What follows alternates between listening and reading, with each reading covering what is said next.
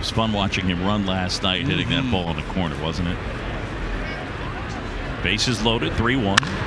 Rip down the line, fair ball. That's headed towards the corner. In to score Baez. Bote on his heels. Here comes Heyward. Jason to the plate.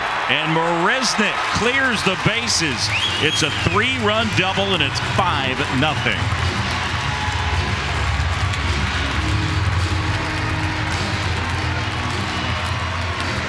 Yeah, two seam fastball trying to crowd him, moving down and in. He's able to clear the hips and drop the barrel of the bat on that one, whack it into the corner. And the track meet relay is off. And he's running the anchor leg.